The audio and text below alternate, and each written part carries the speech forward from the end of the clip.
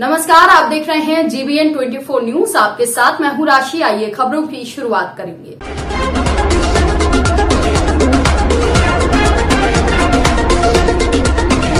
Amroha DM B के त्रिपाठी ने बताया कि सभी मतदान स्थल ठीक चल रहे हैं और मतदाताओं में काफ़ी उत्साह वोट डालने को लेकर दिखाई दे रहा है। Amroha GBN B twenty four news के लिए मोहम्मद सलीम की रिपोर्ट। मतदान चल रहा है। हाँ मतदान हमारे जनपद में सभी बूथों पे सकुशल चल रहा है। कुल सोलह सौ एक बूथ हैं, चार विधानसभाएँ हैं। मतदान प्रक्रिया शुरू हो गई है और 9 बजे तक का जो हमारा परसेंटेज है, दस दशमलव सात, टेन पॉइंट सेवन परसेंट अभी तक मतदान हो गया है।